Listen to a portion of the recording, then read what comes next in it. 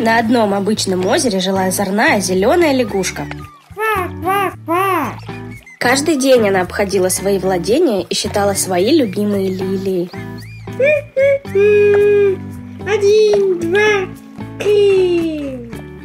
Однажды утром лягушка заметила, что любимые цветы примяты.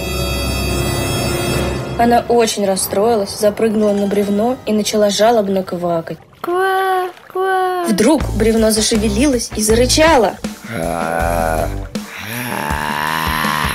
Оказалось, что лягушка запрыгнула на спящего крокодила. Они так испугались друг друга, что побежали в разные стороны озера. Это мое озеро, ква. Нет, мое. Так ссора продолжалась бы бесконечно, если бы мимо не пролетала громадная божья коровка.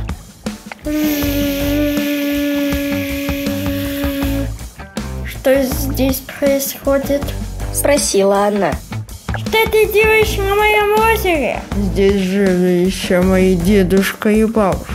Стали снова ссориться крокодил и лягушка. Прекратить! Озеро такое большое и красивое. Здесь могут жить все, кто захочет. Всем хватит места без ссор и скандалов. Нам нечего делить. Я поняла, ква-ква. Мои бабушка с дедушкой были бы рады. Ну вот так бы и сразу, а то разбудили своими криками.